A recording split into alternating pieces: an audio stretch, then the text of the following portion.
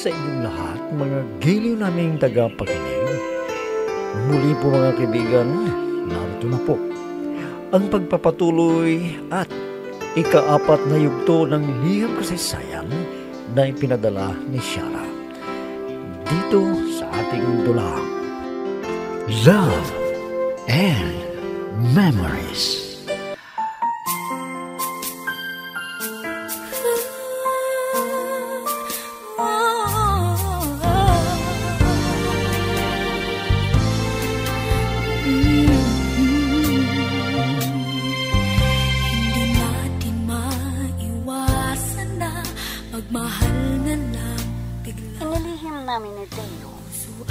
Relasyon namin Merlin.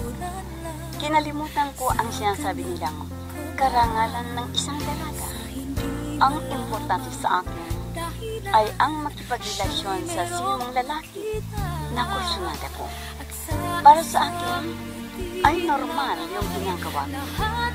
Minsan, ay tinawagan ko si Deo dahil nasasakit na ako sa kanya. Ah,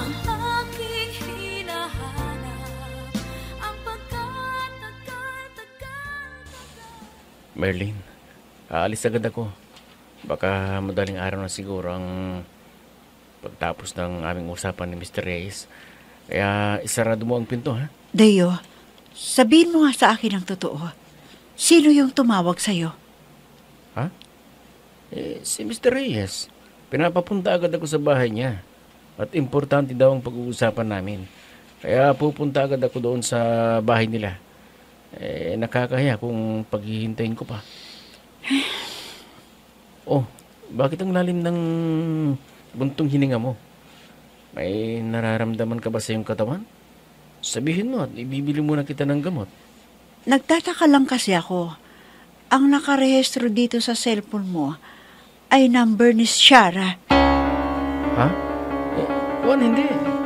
Hindi tumawag ang kaibigan mo yun sa akin. O sige, magpapalit na ako ng damit para makaalis na ako. Siguro, kapareha lang number ni Shara. Imposible. Natatawag ang babaeng yun sa asawa ko.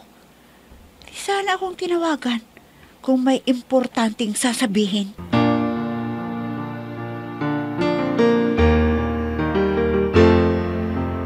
I'm so blessed I have you Cause you gave the world to me You're my inspiration The perfect one in my life forever You make my life complete. mabuti naman. At dumating ka agad. Matagal na kitang hinihintay eh. Kala ko, ayaw mo sa akin. Alam mo pang sabik na ako sa'yo. Ganon din ako, Shara. Matagal ko na rin hinihintay ang text mo. Mabuti tumawag ka. Eh, nabisto sana ni Merlin. Ha? Bakit? Bakit mo sinabi na nabisto ni Marling? Ano bang nangyari? Eh, narinig niya na may kausap ako sa cellphone. Pero nang naligo ako, iniwan ko ang cellphone kung sa may lamesa. At nakita niya ang nakarehistro na number ng tumawag. Eh, mabuti na lang at nakaisip ako agad ng dahilan ko. Kaya huwag mo nang gamitin ng SIM card mo. Magpalit ka na para hindi niya mabuking. Ah, Teo. Madali lang na ipaliwanag yan. Ah, teka. Mag-uusap lang ba tayo? Kanina pa tayo dito sa kwarto. Totoo ang sinabi mo, Shara. Nahanapin kita. Talagang nabis na rin kita eh. Talaga. Mm, Shara. Ah, Teo. Mm, Teo. Teo. Mm, Shara.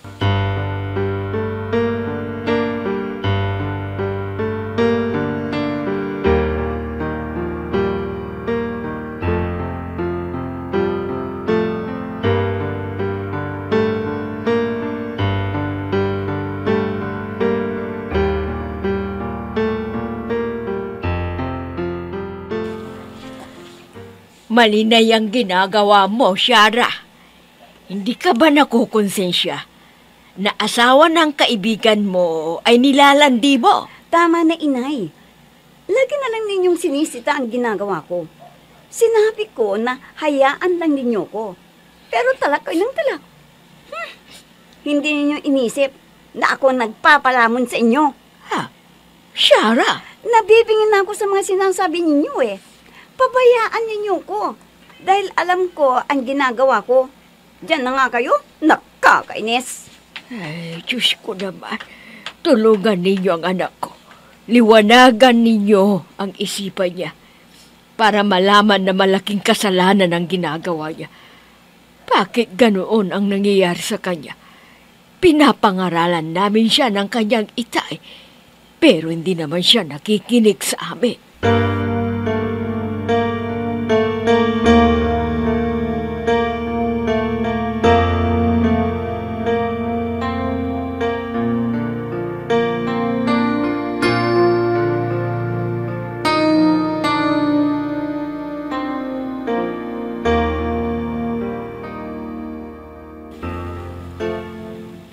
O sang, parang malungkot ka. Ano bang nangyari sa'yo?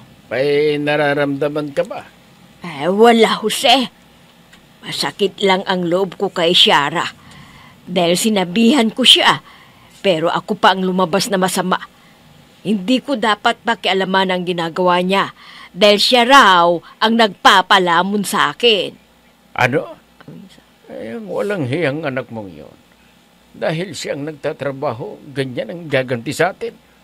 Eh, matatanda na tayo at wala na tayong kakayanan para magtrabaho. Eh, nagsasalita siya ng nakakasakit ng damdamin. Eh, wala tayong magagawa, kundi ang magtiis sa nakikita natin na ginagawa niyang mali. Eh, kung ganun, huwag ka nang magsalita para hindi ka makarinig ng mga maanghang na salita. Hindi masasaktan ka lang. Hayaan mo na siya sa gusto niya. Eh, oo, Jose. Mula ngayon, ay hindi ko napapansinin anumang gawin niya sa buhay niya. Dahil sa bandang huli, ay siya rin ang magsisisi. Ay, ang mabuti mong gawin ay manalangin ka na lang. Na sana ay eh, liwanagin ng Diyos ang kanyang isipan para magtino at isipin ang tuwid na landas para maging maganda ang kanyang kinabukasan. Ay, oo, Jose. Yun na lang ang tangi kong magagawa. Dahil pasaway at matigas ang ulo ni Shara. Hindi na mapigilan sa gusto niya.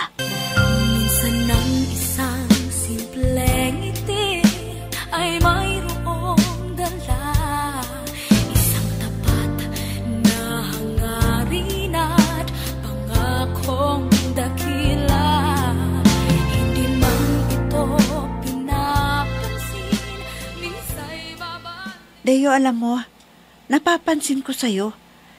Gabi-gabi ka na lang lumalabas ng bahay. Pag tinatanong kita, ang dami mong dahilan. Saan ka ba nagpupunta? Bakit mo pa tinatanong? Eh, alam mo na, kasama ko si engineer eh. At mga kasama ko sa kontrata ni Engineer Reyes. Eh, bakit ba? Naghihinala ka? Na may ginagawa akong kalokohan? Ano pa nga ba? Hindi mo naman dating ginagawa to ah. Ang lumabas ng gabi. Eh, lasing na lasing ka. Ano bang dahilan? Bakit hindi mo sabihin sa akin ang totoo? Bakit hindi mo itanong sa sarili mo? Eh, hanggang ngayon, di pa tayo nagkakaroon ng anak. Kaya naglilibang lang ako para makalimot. Ano? Pero wala naman tayong diferensya. Nagpatingin tayo sa doktor. Eh, wala. Kaya maghintay lang tayo. Limang taon na tayong nagsasama. Pero wala pa rin. Baka naman ikaw ang gumagawa ng paraan para hindi ka mabuntis. Ako pa ngayon ang binabaliktad mo. Talagang gusto ko nang magkaanak. Pero wala pa. Ano magagawa ko? Hindi ko naman pinipigilan ang pagbubuntis ko. Bahala ka. Hindi ko na kayang maghintay pa.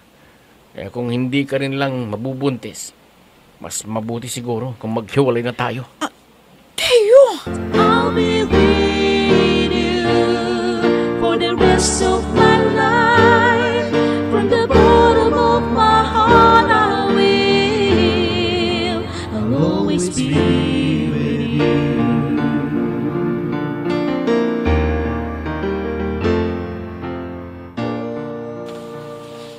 May nahahalata ako kay Shara.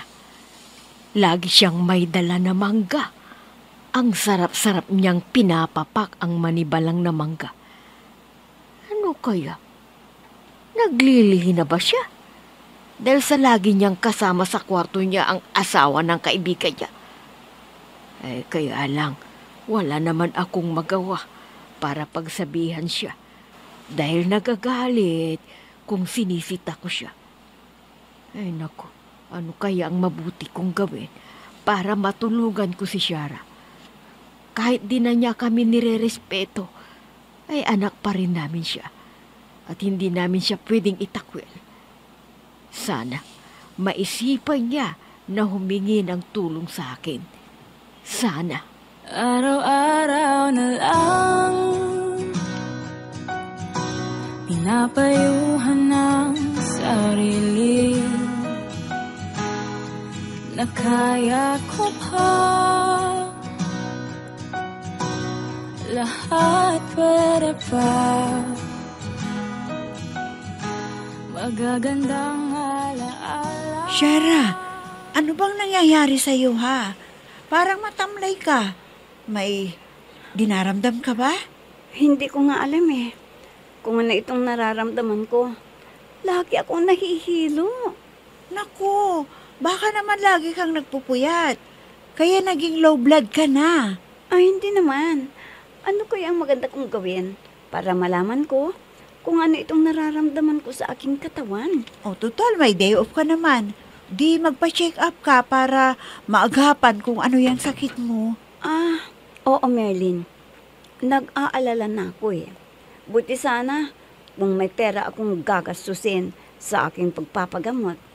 Wala naman na makakatulong sa akin. Alam mo pang isang napapansin ko sa'yo, parang tumataba ka. Para malaman mo kung may sakit ka o wala, magpasuri ka na lang sa doktor. Ah, oo Merlin. Salamat sa iyo ha. Talagang kailangan ko na magpatingin na sa doktor para hindi naman maapektuhan ang aking trabaho. Oo naman. Di ba may mga absent ka na? Sayang naman ang nababawa sa sahod mo.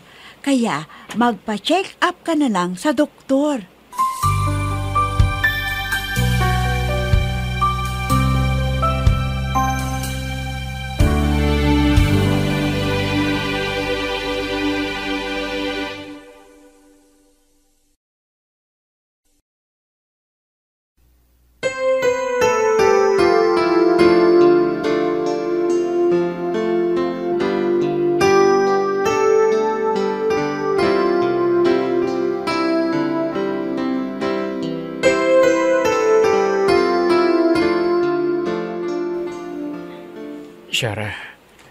Ilang taon na rin ang ating relasyon. Pero wala ka bang sasabihin sa akin para maging masaya naman ako? Ha? Anong ibig mong sabihin, Deo? May pagkukulang ba ako sa pagpapaligaya sa'yo? Sabihin mo naman. Kontento na ako sa ginagawa mo sa akin. Ang ibig kong sabihin, eh, gusto kong magkaroon ng anak. Dahil si Merlin hanggang ngayon, hindi pa nabubuntis. Ay, ewan ko, Deo. Pero alam mo, lagi akong nahihilo at saka nagsusuka. At hindi ko alam kung anong ibig sabihin nito. Kung ganun, Shara, may pag-asa. Baka buntis ka na.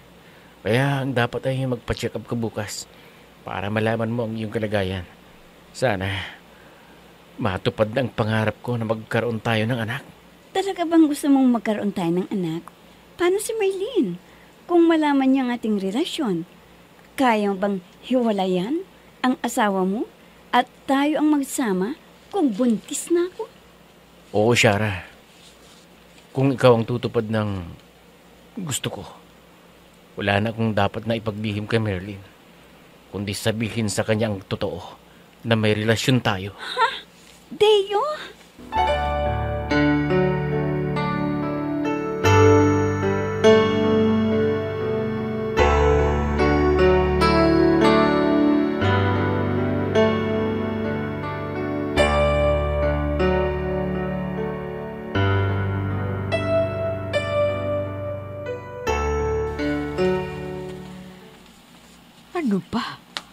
Parang nahihirapan akong huminga at ang init ng bukong katawan. Wala pa naman akong kasama dito sa bahay dahil nasa trabaho si Shara. Si Jose naman ay nasa bukid. Tinitingnan ang tanim naming gulay. Ah, naku, talagang nahirapan na ako. Ano bang gagawin ko? Hindi naman ako makasigaw para humingi ng tulong. Ah, ah, ah. Minsan ng isang simpleng ngiti ay mayroong dala Isang tapat na hangarin at pangakong dakila Hindi man ito pinapansin Minsa'y babalik O ano nang resulta ng pagpapacheck up mo, Shara? Ano raw ang iyong kalagayan? Natupad ang pangarap mo, Teo? Ano ngayon ang gagawin mo? Ipagtatapat mo na ba kay Merlin ang aking pagbubuntis? Hindi ko pa alam, Shara. Eh, siguro, eh, hindi pa panahon para malaman niya na nagkaroon ako ng anak sa'yo. Siyempre, naaawa rin ako sa asawa ko. Pero huwag kang mag-alala. So, supportan kita sa mga gastusin mo sa iyong pagbubuntis. Talagang ikaw ang bahala sa akin. Siyempre, pag malaki na ang tiyan ko, ay hindi na rin ako makapagtrabaho. Alam ko yan, Shara. Basta huwag ka nang magproblema. Ako na ang bahala sa'yo at sa magiging anak natin. Ay, salamat, Teo. Kung pananagutan mo ang bata, dahil hindi ko siya kayang buhayan, no? Oo, Shara. Hindi ko kayo pababayaan ng ating anak. Kaya kailangan kong magsikap sa trabaho para masuportahan ko kayo at mapalaki ng maayos ang bata. Ay, siguro naman. Ay, kumpleto na ang saya sa buhay mo. Dahil sa wakas, ay nagkaroon ka ng anak sa akin. At hindi sa iyong asawa.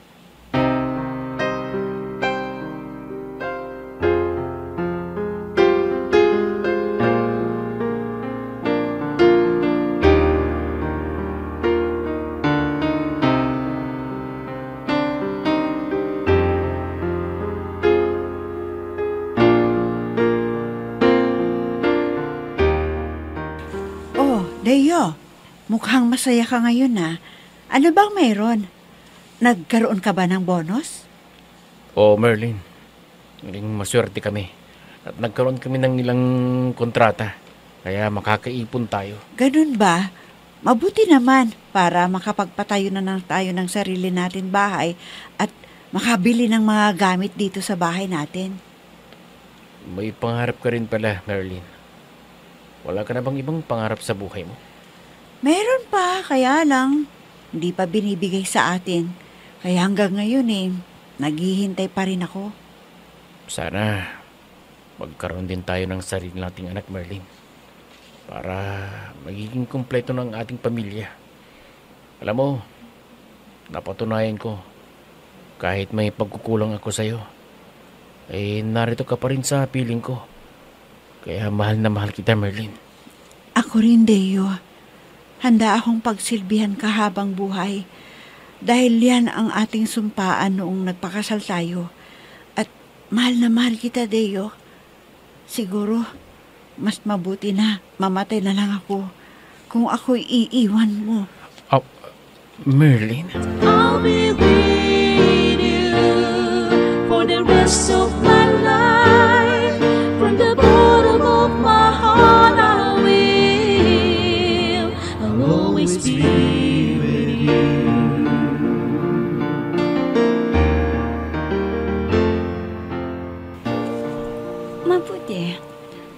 nakarating na ako dito sa aming bahay.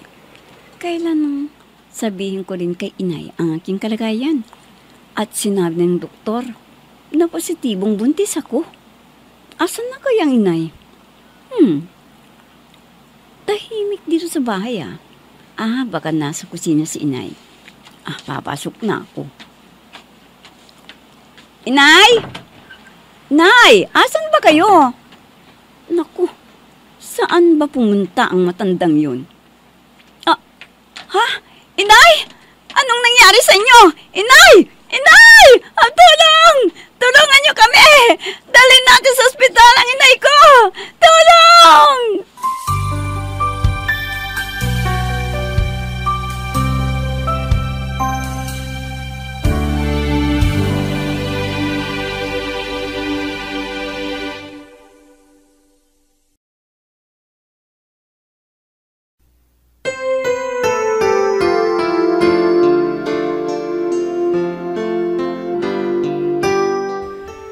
Ano kaya ang nangyari sa ina ni Shara? Mga kaibigan, huwag ninyong kaligtaang subaybayan ang pagpapatuloy at ikalimang yugto ng liham kasaysayan na ipinadala ni Shara dito sa ating dulang. Love and Memories Mga nagbibigay buhay sa ating dula ay sina Mayra Abrihal Narnola. Susan Malikdem. Robert de Guzman. Yehuda Ismael Eva Alcoriza Jun Cabato Ami Diaz at si Oscar Ora.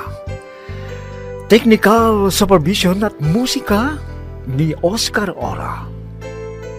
Nilapatan ng tunog ni Robert D. Guzman. Mula sa panulat at direksyon ni Ami Diaz. Love and Memories. Inihahandog sa inyo ng F3 Recording Studio para sa pambansang radyo ng Pilipinas, Bombo Radio, Philippines.